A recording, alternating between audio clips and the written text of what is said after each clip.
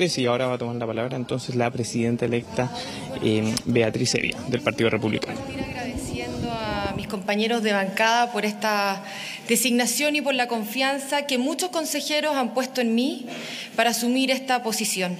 Asimismo, quiero felicitar Aldo Valle por su designación. Espero que juntos podamos dirigir esta mesa con responsabilidad, prudencia y sabiduría.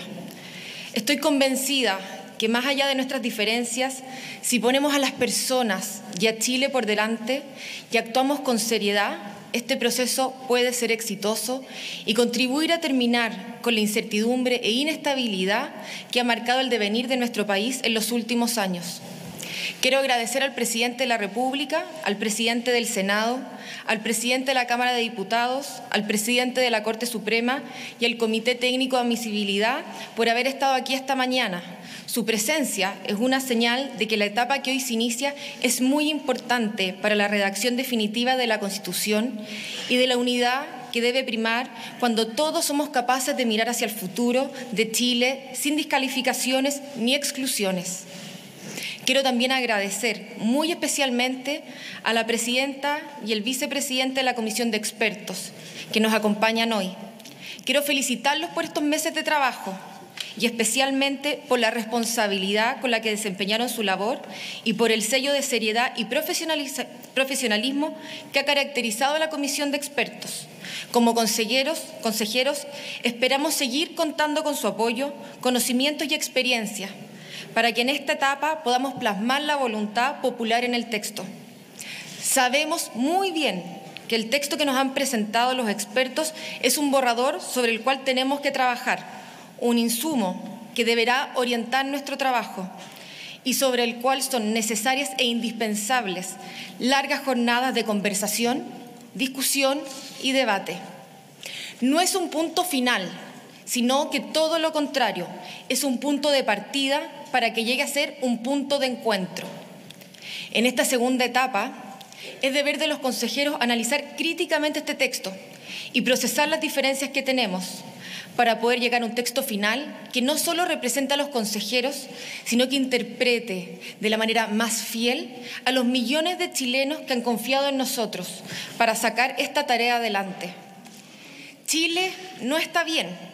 Como representante del sur de Chile, de la ciudad y del mundo rural, y hoy también de las regiones del norte y del sur, doy fe de la crisis profunda que vive nuestro país, una crisis económica, política, pero por sobre todo social.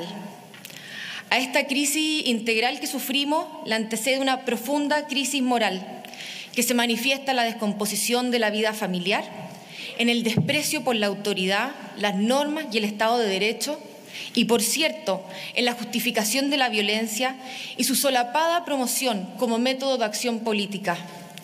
¿Qué novedad le podemos ofrecer al país? ¿Qué horizonte podemos construir más allá del formalismo y la discusión jurídica? ¿Es acaso ese nuestro trabajo? Estas son las preguntas que me hago y que espero que podamos resolver juntos a ustedes durante estos cinco meses. Cinco meses que espero no sean un capítulo adicional en esta larga y compleja serie, sino que se conviertan en el capítulo final de esta crisis. La crisis que nos tocó enfrentar como generación y que necesita de un buen desenlace. Hoy quiero invitar a los chilenos a que tengamos esperanza, a que este proceso pueda ser un punto de encuentro para construir en conjunto el futuro de nuestro país. Quiero invitarlos a escucharnos y también a, que los escuchemos a ustedes y que nos den la oportunidad de trabajar y sacar esta enorme tarea adelante. Tenemos una tremenda responsabilidad y un gran desafío para poder encontrar un camino en común que resuelva la incertidumbre y que permita a Chile mirar hacia el futuro con esperanza. Nuestra disposición es a trabajar, sin quedarnos pegados a las divisiones del pasado. Nuestro rol como consejeros es buscar acuerdos que perduren en el tiempo y nos permitan superar la polarización actual.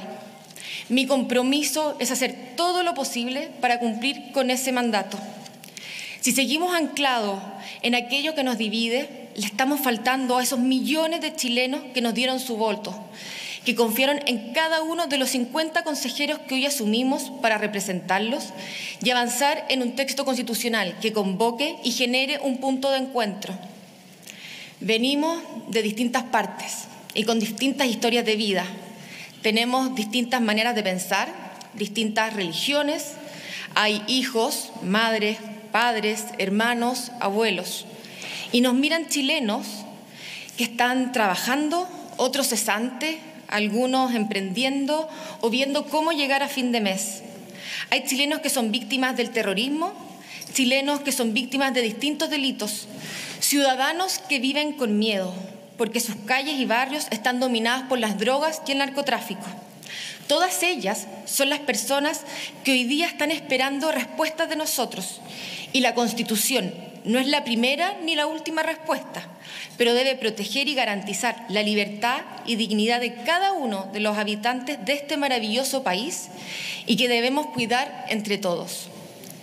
Con mucha humildad queremos reconstruir un marco constitucional en el cual los chilenos nos sintamos representados y donde las personas estén en el centro.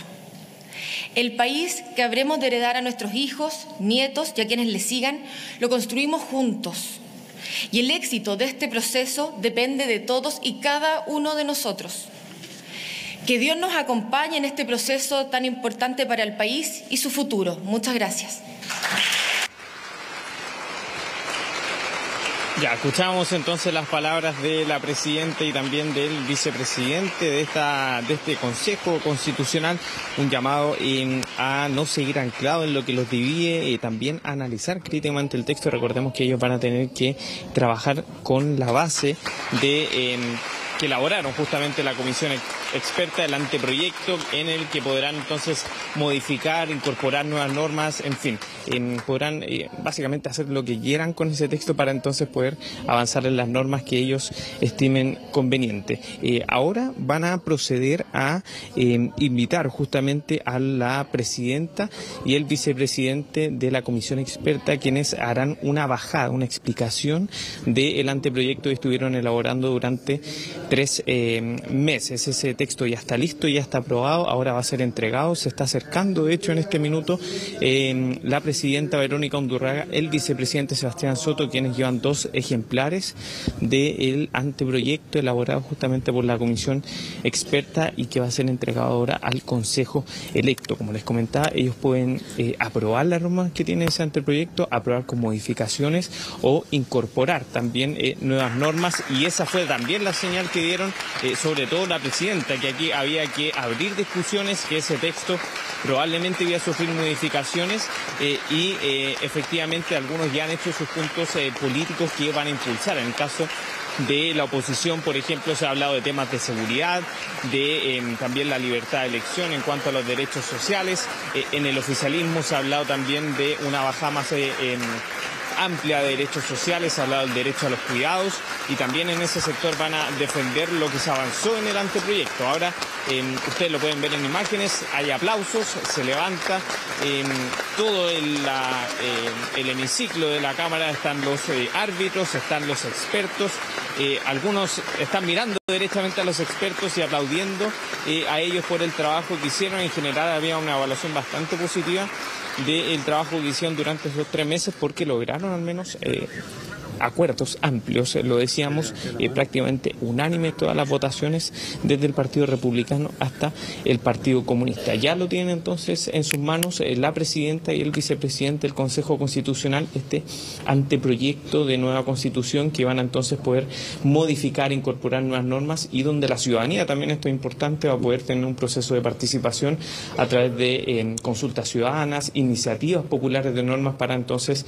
hacer modificaciones a este anteproyecto. Escuchemos eh, a la presidenta Beatriz Evia en esta ceremonia comisión experta presentará hasta entre consejo los lineamientos generales contenidos en el anteproyecto y la forma en que se ha dado cumplimiento a las bases institucionales y fundamentales. Bien, ahí está la presidenta del Consejo Constitucional, Beatriz Evia, em, sumando los oradores ¿no? de esta ceremonia que comenzó a las 10 de la mañana eh, con el presidente provisorio, eh, Miguel Litín, luego el presidente de la República, Gabriel Boric, el vicepresidente Aldo Valle y eh, Beatriz Evia que da por inaugurada la primera sesión ¿no? y la inauguración por lo demás. Y con un mensaje eh, bien eh, común, ¿no? Eh, la búsqueda de un trabajo que permita sacar adelante esta tarea, de la necesidad de conversar, de escuchar, de buscar puntos en común también entre los distintos consejeros que van a comenzar esta, esta nueva etapa. Es un punto de partida, decía Beatriz Evia, eh, que llegue a ser un punto de encuentro. Es eh, el mensaje que dejaba también en su intervención. Mientras escuchamos o vemos más bien ahí en pantalla